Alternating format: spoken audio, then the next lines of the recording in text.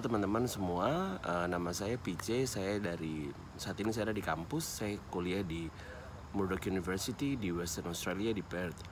Nah teman-teman, saya mau cerita sedikit mengenai uh, pengalaman hidup di sini pasca um, coronavirus atau COVID-19. Yang kita tahu sama-sama teman-teman bahwa seluruh dunia ini sekarang sedang apa namanya kayak mawas sekali dengan virus ini karena memang angka kematian cukup tinggi dalam waktu yang cukup singkat. Nah, um, hari ini saya mau bahas cuman ada ada tiga poin penting yang yang akan saya bahas. Yang pertama yaitu tentang kehidupan kampus, kemudian kehidupan saya sehari-hari dan bagaimana kondisi uh, Perth sendiri pasca coronavirus ini. Jadi nanti kita akan bahas tiga hal tersebut ya. Yang pertama teman-teman mengenai kehidupan kampus setelah sebulan belajar kami kemudian harus di uh, setelah non teaching week kemudian belajar sudah mulai online. Selain itu kegiatan indoor seperti student hub sudah mulai dilarang karena mengikuti aturan pemerintah terkait dengan social distancing. Jadi semua student dilarang untuk duduk di dalam student hub dalam bentuk um, kelompok. Jadi kebetulan kemarin saya sempat balik ke Indo, terus balik ke sini dan setelah saya balik ke sini itu pas di week 2 untuk uh, study.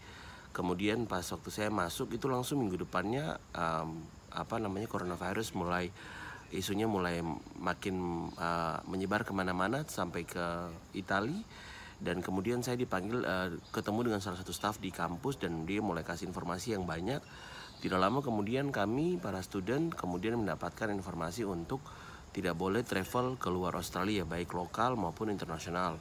Jadi waktu itu student semua di band untuk tidak boleh berangkat ke mana-mana untuk uh, sampai dengan tanggal 3 April awalnya jadi kita sebagai student ya ya udah kalau memang puji Tuhan saya sudah sampai di Australia di kampus lebih dulu jadi tidak terlalu takut untuk tidak berangkat ke mana-mana. Jadi waktu itu kita di band untuk um, international departure atau kita berangkat internasional ataupun domestic ke state state yang lain di Australia sampai tanggal 13 April. Saya ingat waktu itu um, pengumuman pertama seperti itu. Akhirnya wah ini sudah mulai serius. Ternyata mulai ada uh, perkembangan seperti itu Nah kemudian ternyata kasus ini semakin hari semakin naik dan akhirnya mulai uh, uh, dari state government dari prime minister mulai umumkan bahwa seluruh Australia close itu beberapa hari yang lalu. Jadi waktu seluruh Australia close artinya kita tidak bisa masuk ataupun kita tidak bisa keluar lagi ke Australia dia menutup semua akses untuk masuk ke Australia dari uh, negara-negara uh, lain begitu. Akhirnya um, kita di kampus pun ya sudah kalau gitu mulai mulai apa was was begitu. Nah tidak lama kemudian ternyata ada lagi peringatan yang yang baru yaitu bahwa karena kita kalau di sini kan sistem belajarnya empat minggu studi terus minggu minggu kelima atau week five itu kita ada namanya non teaching week. Jadi memang non teaching week itu kita tidak belajar sama sekali. Nah tiba-tiba waktu minggu keempat itu langsung masuk lagi pengumuman dari kampus bahwa setelah uh, non teaching week minggu ini itu di week 5 di kampus itu akan di extend menjadi dua minggu uh, non teaching week. Dan setelah itu langsung kita belajarnya online. Wah itu langsung bikin aduh um, bagaimana nih kalau belajar online tuh kayaknya saya saya bukan orang yang tipikal yang belajar online tapi ya sudah ini keputusan kampus dan ini dengan alasan coronavirus yang bisa kita terima sama-sama. Akhirnya sekarang kita sedang apa namanya mengatas uh, ikut dalam um, apa peraturan kampus yang tadi jadi kita uh, apa namanya dua minggu non teaching week kemudian setelah dua minggu kita kembali belajar tapi belajar online semuanya. Tapi dalam uh, waktu-waktu ini kita boleh berkonsultasi dengan dosen kapan saja semuanya melalui online online teaching begitu.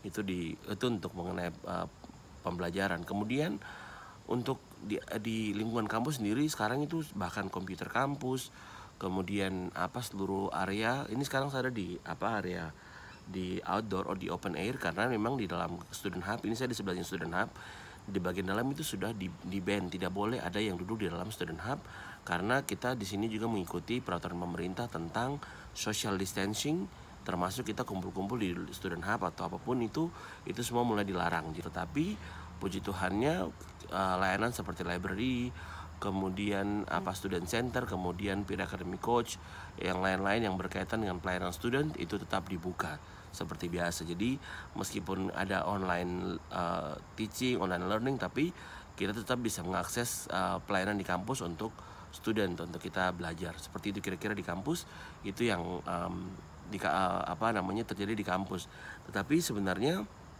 uh, menjadi sebuah hal yang cukup sulit karena um, kita punya kayak diskusi dengan dosen, diskusi dengan teman itu jadi terhambat. Jadi apalagi tipikal kayak saya yang kalau misalkan belajar ya mendingan di classroom, mendingan ketemu orang dan berinteraksi gitu. Jadi ini jadi koron jadi karena virus corona dampaknya ya kita punya pengalaman baru lagi untuk lebih bisa belajar dengan situasi yang seperti ini. Kira-kira seperti itu untuk di kehidupan kampus. Teman-teman untuk kondisi di Perth sendiri untuk di City um, seluruh kegiatan masih berlangsung seperti biasanya tetapi yang paling kelihatan itu adalah social distancing di mana orang kalau dulu eh, sebelum sebelum ada corona itu kita kalau misalkan mau ke train station mau naik mau naik apa namanya tren mau naik bus itu orang semua desak-desakan tapi sekarang semenjak ada corona semua orang mulai jaga jarak gitu jadi kalau misalkan berdiri tidak terlalu dekat terus kalau misalkan apa namanya um, naik di tren juga tidak tidak desak-desakan tapi memberi jarak itu satu hal yang cukup baik begitu. Nah, kalau di sini teman-teman bisa lihat ini Murdoch Station. Ini kegiatan masih berjalan seperti biasa, bus masih seperti biasa, ini juga train.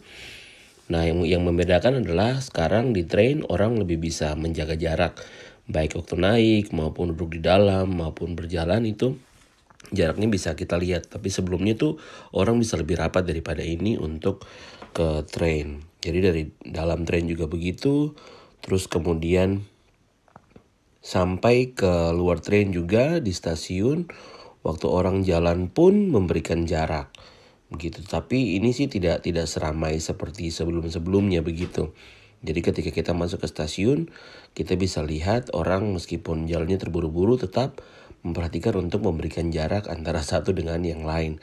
Jadi kita tidak terlalu berdekat uh, berdekatan. Kemudian yang signifikan yang lainnya adalah bisa dilihat train station itu pada saat weekdays begini itu tidak sebanyak orang-orang di seperti weekdays biasanya begitu. Jadi memang stasiun jadi jauh lebih sepi, kayaknya orang keluar pun hanya betul-betul ketika dia uh, ada keperluan. Selain itu juga tempat ini bukannya sepi tapi memang orang tuh jalan tuh memberikan jarak buat buat yang lain. Jadi kita tidak terlalu jalan untuk berdesak-desakan. Meskipun kota ya masih seperti biasanya uh, tidak terlalu ramai juga kali. Nah kemudian teman-teman kalau video ini teman-teman bisa lihat bahwa di sini tuh orang aware tetapi tidak kayak menggunakan masker ke mana-mana. Tidak semua orang itu menggunakan masker begitu. Jadi mereka menjalani aktivitas seperti biasa. Nah yang menarik lagi teman-teman ini, ini di KFC sampai dipasang danger dan orang tidak bisa makan di sini. Jadi hanya bisa beli dan uh, take away. Nah tapi teman-teman untuk seperti kebutuhan uh, makan buah, kemudian sayur, tomat dan daging, kebutuhan-kebutuhan ini masih bisa saya dapatkan waktu saya pergi untuk uh, cari begitu ya. Jadi pemerintah memastikan untuk bahan makanan kita pasti bisa dapat begitu. Nah, tapi yang sulit ini yang berkaitan dengan kita punya kebersihan cleaning ini nih hand towel habis, kemudian alat pembersih juga habis. Jadi ini cukup kesulitan karena yang ini satu rak itu habis. Jadi agak kesulitan. Nah, tapi serunya sebagai anak kos lagi masih ada mie, masih ada kehidupan lah ya. Dan tidak lupa beras ini pun juga dibatasi dan harganya sudah 20 dolar. Nah setelah belanja sampai di kasir dari pihak toko eh, dari Woolworths ini dia memastikan bahwa semua peralatan yang dipakai itu harus dibersihkan secara intensif setiap saat seperti itu. Kemudian uh, pemerintah juga sudah mulai uh, mengeluarkan peraturan dan mengeluarkan larangan untuk melintas dari antara Australia Barat ke state yang lain baik dari udara, laut maupun apa namanya udara itu semua di close supaya uh, tetap menjaga Perth ini sehat dan juga dari uh, apa namanya penyebaran corona COVID-19 itu. Dan itu yang membuat kita sebenarnya sih kayak rasa mau rasa aman juga ya belum. Kemudian mau rasa tidak aman juga ya tetap masih was-was begitu. Karena di per sendiri per yang saya lihat datanya itu kita sudah ada 90 kasus begitu. Dan sampai saat ini pemerintah umumkan bahwa ada satu pulau namanya Rottnest Island. Itu akan digunakan untuk isolasi bagi para um, pasien yang terjangkit COVID-19 gitu. Jadi memang ini kebijakan diambil supaya untuk menjaga uh, penyebaran virus itu tidak terlalu uh, banyak di di di Perth sendiri. Jadi itu dari saya dari Perth. Terima kasih banyak. Semangat.